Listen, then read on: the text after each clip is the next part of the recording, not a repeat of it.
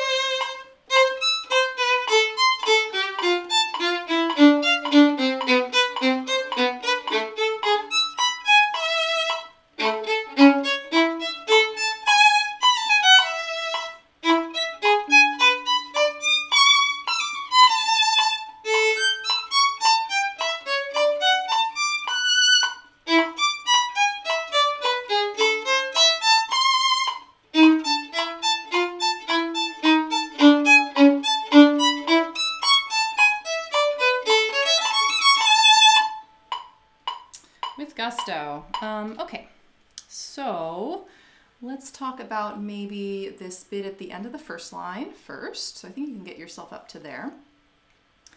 So like the th uh, third and fourth measures. Okay, so now the shift happens. We're going to be first finger on the A string in third position, D note, going to another D note. So that's an octave. And you want to definitely move your thumb. And like I said, kind of crowd up into the violin. So then once you're there, the finger uh, pattern is going to be, so you have a C natural. So whole step back and then whole step up. So all those are whole steps. And then just move your two back a half step. So that's the end of the first line. And then get into the second line, you're in third position, and so you're still there. So just shift down, and then when you come back, so the end of that, so second line, first measure, last note, you're back on this one, and you're gonna go to your fourth position. So you're on the E string, um, this is a C, and you wanna put your one right here, it's like a half step down, but you're going up. And then the second measure of the second line, you're gonna do four, uh, one, four, one, uh, one, four, one, three, and then take this open E. Okay, so nice thing about a video, you can just keep rewinding. Um, and then the end of this section right before the repeat sign. And it looks like there's some little staccato dots there. So we'll, we won't do like a smooth slur. It's just a little down, down. And this is just a 4-2 harmonic. And you just kind of heavy, light as you go. So you get the harmonic. Okay, so now let's go to the beginning of the third line. So you've just come up to third position. And now here we are, third line. Here's a two that's gonna be close. And then you're gonna go, and now put this one where this three would go right next to it. I'll show you that spacing. Let's see, so the B.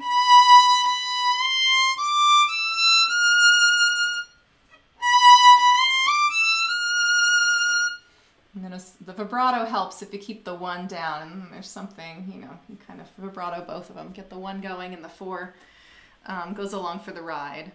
So um, the next part's in first position and then the last two measures of line three here, we have the shift up to the harmonic. So just extend up, it's just kind of when you just hit the violin and, and um, have a straight pinky for most of us, that's about the right spot and you come back little extension. You can extend it for this one. Just up the A string a little bit. Those would be across from each other or go to first finger.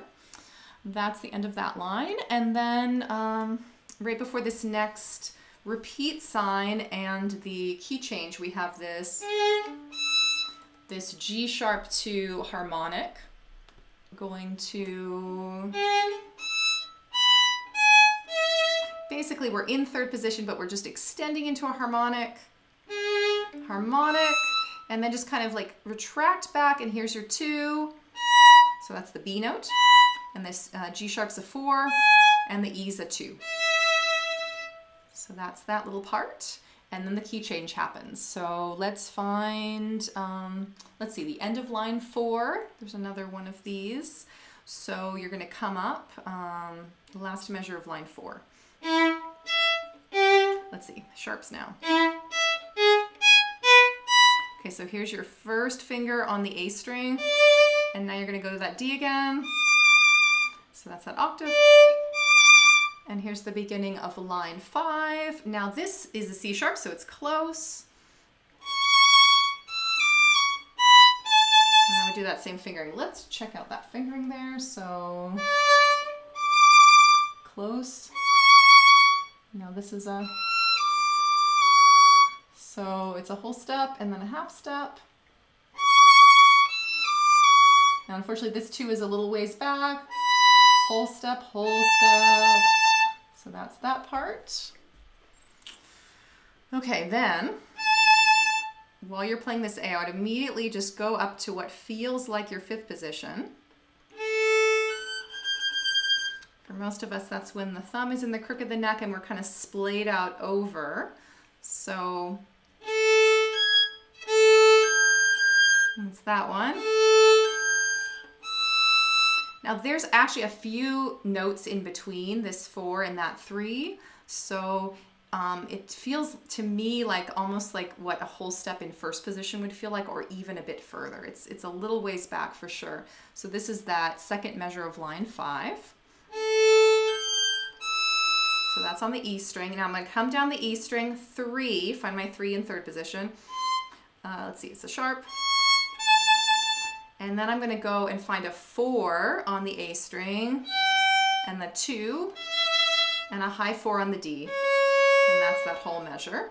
And then I'm gonna come back, this is the third measure of line five, one on the A string, third position. I'm gonna shift up now, I'm gonna find a one where this three would normally go, and it's an F sharp, so it's like a high three, but I'm gonna play it with a one. So it's hard doing this slow motion. And then, so that's one, three, two on the E string, and then four on the E string. And that's that whole bit. Let's try that. So I'll show you the spacing here.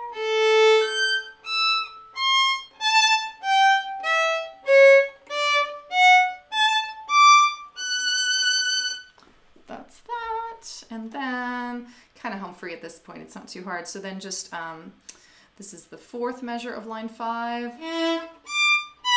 So just a little shift third, fourth finger, two, four, that's a high four, two, one, three, high one. Okay, so I'll show you that measure here.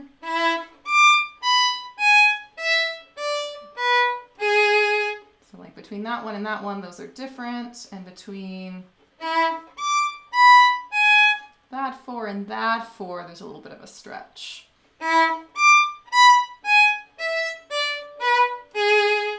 Then just go to first position through an open A. Back to third on the E string. So that is the second to last line. And now the final line, this part, um, I would just keep the threes down for a little while.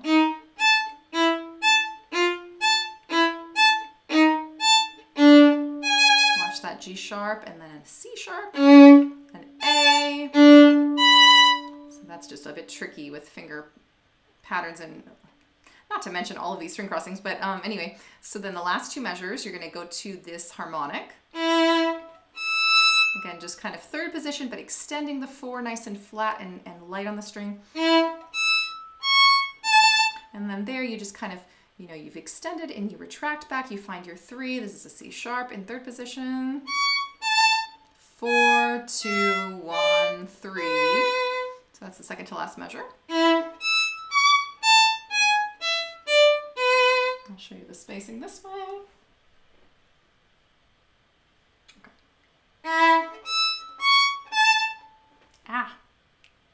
Up with a different part. Let's see, my screen went blank. There we go. Yeah. I'm forgetting it again.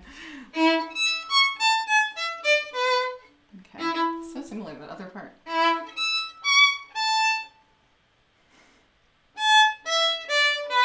There we go. So, so it's like this. This three. So that's a whole step apart there. Different strings, but.